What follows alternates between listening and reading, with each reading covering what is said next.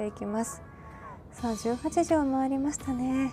この時間帯になりますと退勤時刻の方もいらっしゃるのではないでしょうか。一日お疲れ様でした。今晩の夕飯は何を召し上がりますか？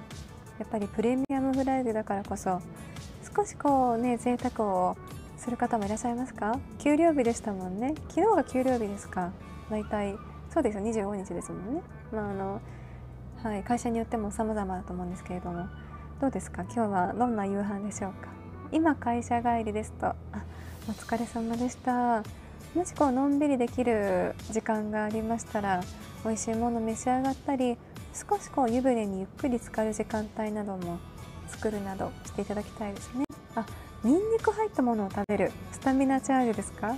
確かに週末ならではですね。匂いが気にならないってことですよね。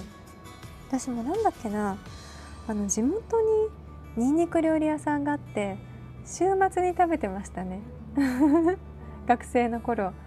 懐かしい。あの全ての料理がですねメニューがニンニクなんですよ。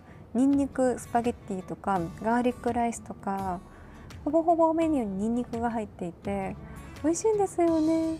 あの食欲も増進ですし何より栄養もあって元気になれるのでスタミナつけて皆さんもね夏バテ知らずで過ごしていただきたいです。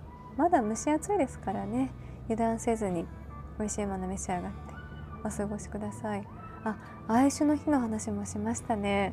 炙り明太子って今来てましたもんね。あの後私すごく食べたくなっちゃって探したんですよねいろいろ。でもなくていや今日こそプレミアムフライデーですもんね。サングラスかけながら食べようかな。でもあの五条先生はお酒飲めないのでそうなんですよ。だからノンアルコールカクテルかあとどうします？甘いものですかねやっぱり。甘いものがね好きってファンブックに載ってましたよ。菊服はさすがにね手に入りませんよね。もう私食べちゃいました菊服。2箱2箱。あぶれ？バーナーですか？山口さんまだ使ってるってお聞きしたんですけど以前。月中ですよね？月中。パスタ。炙りますか？じゃあ。炙るものないんですけどね私。あのバーナーがまだなくて。あると便利って言いますけれどもね。